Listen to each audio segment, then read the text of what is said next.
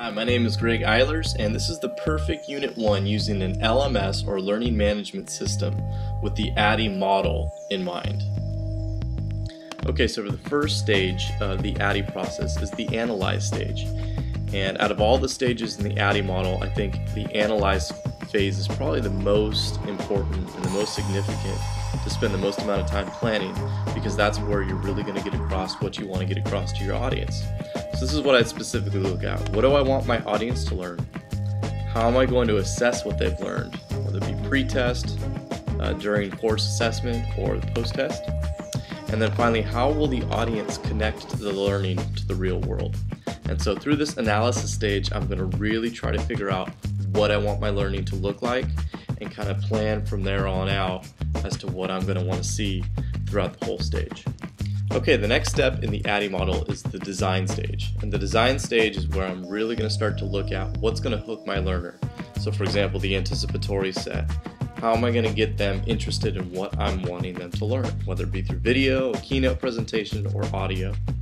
I'm going to look closely at the objectives that I want my students to learn.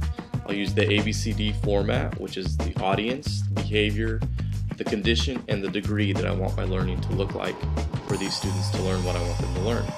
And I'll also create learning opportunities for multiple intelligences.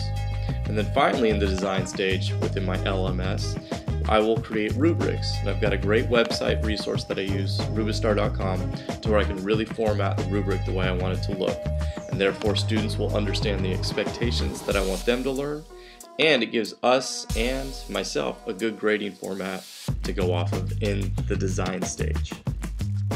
Okay, so that brings me to the developing stage, and this is the part where I'm really getting ready to launch my project. So I'm to make sure that my permissions are all set, I've got parent permission, administration permission for anything I'm going to use, uh, whether it be online, for the internet, Web 2.0 tools, using the computer lab, allowing students to be on video camera, digital cameras, uh, using movie editing software, kind of just getting all the resources and materials needed ready to go to launch my project. And then finally, what last minute collaboration might I need? Am I going to have guest speakers? Do I need more colleague input, more experience uh, to help my project along? Really getting it ready to tweak and get going for the implement stage.